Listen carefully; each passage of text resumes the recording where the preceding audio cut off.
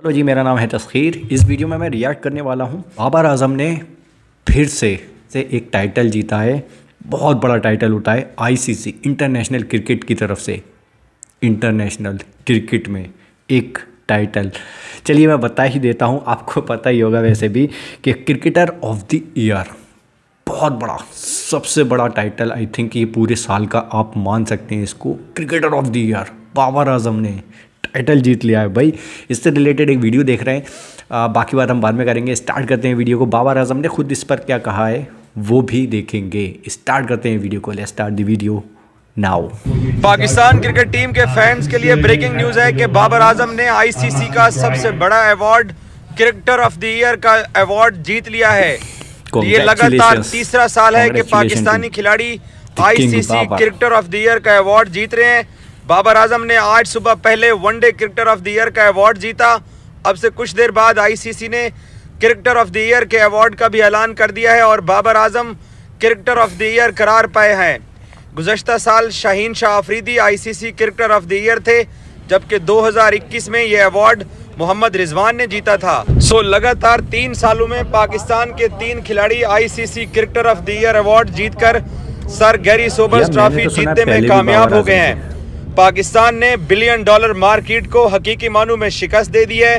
पाकिस्तान के तीन क्रिकेटर्स लगातार तीन सालों से क्रिकेटर ऑफ़ द ईयर का अवार्ड जीत रहे हैं। आईसीसी ने जो बाबर आज़म को क्रिकेटर ऑफ़ द ईयर का अवार्ड दिया है बाबर ने 44 मैचेस में पच्चीस रन स्कोर किए और उनकी एवरेज 54 रही।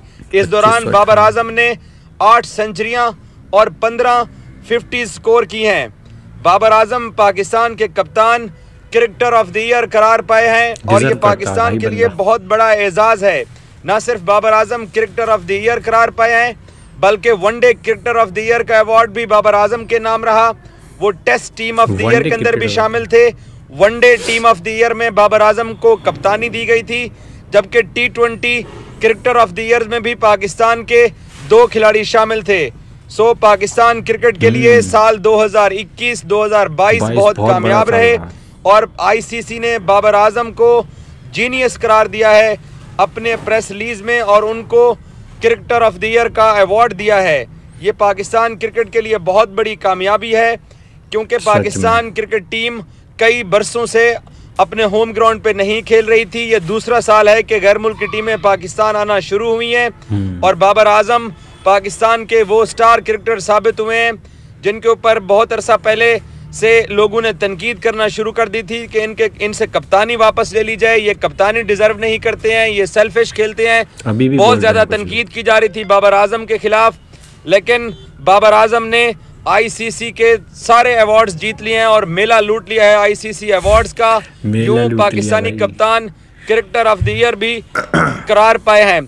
आईसीसी ने test cricketer of the year के लिए इंग्लैंड के टेस्ट कप्तान बेन स्टोक्स को अवार्ड दिया।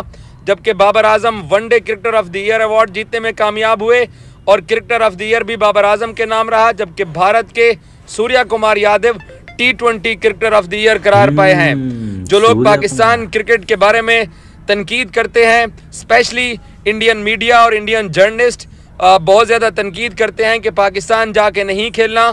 सो अब सबको एहसास हो गया है कि पाकिस्तान टीम गुजशत तीन बरस से जिस तरीके से आईसीसी इवेंट्स के अंदर परफॉर्म करती चली आ रही है या एशिया कप हो या छोटे दूसरे इवेंट हो पाकिस्तान ने बहुत ज़बरदस्त परफॉर्म किया और उसकी सबसे बड़ी वजह टीम के कप्तान जो कि लगातार स्कोर करते चले आ रहे हैं और तीसरा साल से Pakistan ICC cricketer of the year का अवार्ड जीतने में कामयाब हो गया है। जैसे मैंने बताया कि मोहम्मद रिजवान शाहीन शाह अफरीदी और इस साल Babar Azam ICC cricketer of the year का अवार्ड अपने नाम करने में कामयाब हो गए हैं।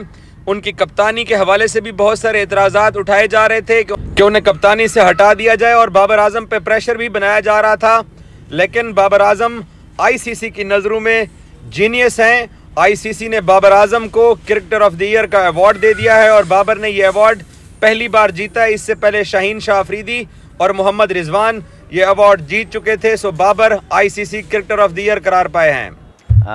अल्हम्दुलिल्लाह। Second time ICC ODI cricketer of the year का अवार्ड मुझे मिला। काफ़ी ऑनर की बात है। Uh, अच्छा पहले रहे होंगे शायद पिछली बार की स्पोर्ट टीममेट्स की स्पोर्ट काफ़ी रही। 2022 का काफ़ी अच्छा सीज़न गया। 2023 का सीज़न आ रहा है तो कोशिश करूँगा इसमें एशिया कप और वर्ल्ड कप आ रहा है। उसमें अच्छी परफॉर्मेंस करने की कोशिश करूँगा। हम्म, कोई ना कोई रिकॉर्ड टूटने के लिए ही बना हुआ होता है। लेकिन बाबर आज़म को cricketer of the year second time मिला है। इससे पहले तीन रिजवान शाहीन और बाबर तीन सालों में ये cricketer of the year Pakistan ने छोड़ा नहीं है टाइटल किसी और को दिया नहीं है, पाकिस्तान के पास ही है। अब बाबर आज़म के पास है क्रिटिसिज्म मिल रहा था उन्हें। अभी कप्तानी पर भी लेने देने हो गए थे कि यार इनको हटा दो, ये है, वो है, संभलती नहीं है, वगैरह वगैरह, बहुत ही कुछ ज़्यादा ही कूल टाइप का बनता है, इस टाइप से। कुछ चल रहा था लेकिन नहीं बाबर आज़म किंग हैं। उन्होंने दिखा दिया है कि यार ये टाइटल मेरे पास है तो किसी वजह से है भाई पच्चीस सौ प्लस आ, कुछ स्कोर रहा है उनका। एंड बहुत ज़बरदस्त परफॉर्मेंस रही है कंसिस्टेंट रहे हैं। हमने देखा है अपनी आँखों से देखा है भाई उनको खेलते हुए। तो उनको ये टाइटल मिलना है या फिर वो डिज़र्व करते हैं या नहीं तो बेशक डिज़र्व करते हैं, भाई बेशक डिज़र्व करते हैं, इसीलिए उनको दिया गया है। और आईसीसी की तरफ़ से ये चीज़ मिलना बहुत बड़ी बात होती है।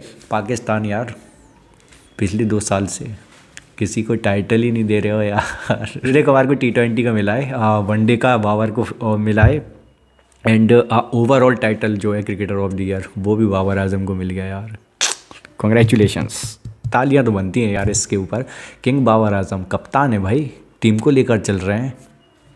Cricketer of the year suit करता है ना एक तरीके से। टीम को लेकर चल रहे हैं टीम को यहाँ तक पहुँचाया। एक अच्छा नाम आई थिंक 21 और 22 के क्रिकेट में आ, अभी तक बाबर आज़म की कप्तानी में टीम का बहुत अच्छा आ, उभार हुआ है। मतलब इंटरनेशनली काफ़ी अच्छे लेवल पर निकल कर आई है टीम। मुझे ऐसा लगता है। बाकी क्या कहते हो? बाबर आज़म को ये टाइटल मिला है इससे आप क्या सोचते हो? क्या डिज़र्व करते हैं या नहीं करते हैं? आपकी जो भी व्यूज़ हैं, वो कमेंट सेक्शन में बता सकते हो। सब्सक्राइब कर सकते हो हमारे चैनल को। मिलते हैं next video bye bye signing off